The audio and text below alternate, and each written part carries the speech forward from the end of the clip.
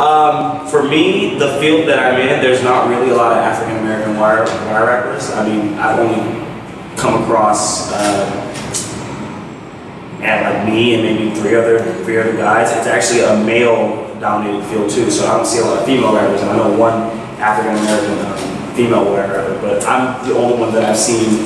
I'm not trying to toot my own horn, but on a caliber of like you see these other guys that are top that are doing Rolexes now and stuff like that. So. Um, it just it's important to me because I don't see anybody that looks like me doing it. So I'm trying to make that a thing. Like you know, I want people to see that you can that people of color can uh, hop into this field too. It's not just made for a certain group of individuals.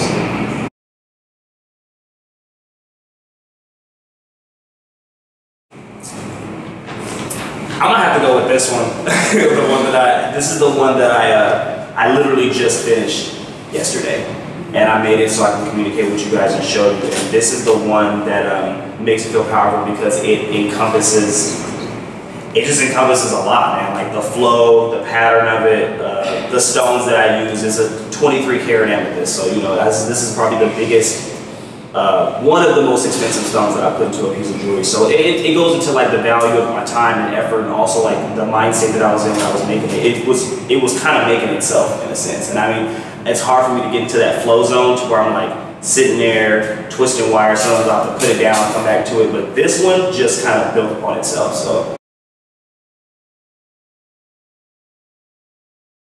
I'll sit for like five hours at a time and just not move and just stay in one spot and uh, keep moving because people are always curious as to how do you do that and it literally just starts off as just pieces of wire.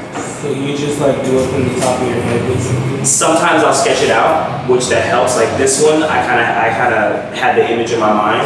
Um, but sometimes if it's a piece that I'm like, man, I don't even know how to accomplish that. If I see it in my head, I'll sketch it out and try to execute it as best possible.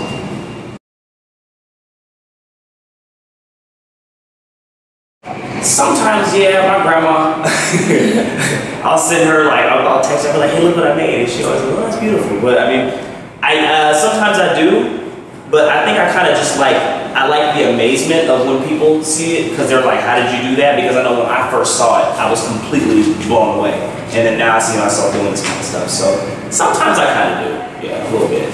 I'll be lying to myself.